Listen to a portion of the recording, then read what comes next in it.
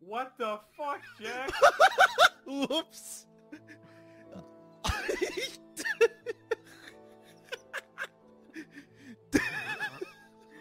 blinded my fucking screen. I, my explosion was a bit bigger than I anticipated. Uh, turn down the radius on that. Dude, I actually felt like I got nuked. My whole screen went into white. yeah, you just got me too. I, I had a bit of the shocked face.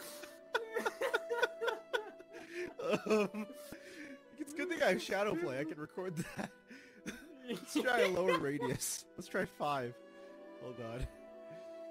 All right, uh, John, summon another monster for me to slay.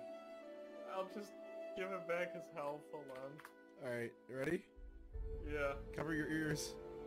Okay, there we go. That's a lot smaller. yeah, I'll take this. Whoops. that was a that was a bit big. I set it to 50 because I thought 50 was like the radius of the no, like, you know, 50 the feet. 50 is the number of squares it covers. Yeah, it turns out. Yeah, I know. I thought it meant five squares if I put 50, but it turns out that was 50 squares. You know how it is. You know, you know, you know. you know, you know, you know, Mike. You know, you know. Up, guys? We're messing around with uh, Foundry macros. Wait, wait, the John. I'll set it. I'll set it uh, higher, and then tell Will to watch it. You might want to cover your eyes, though, John. We'll see. ya. Okay, well, you should watch this. Watch what? My screen. Alright. All right. Is he seeing? Wait, uh, John, summon a beholder or Oh. something. All right.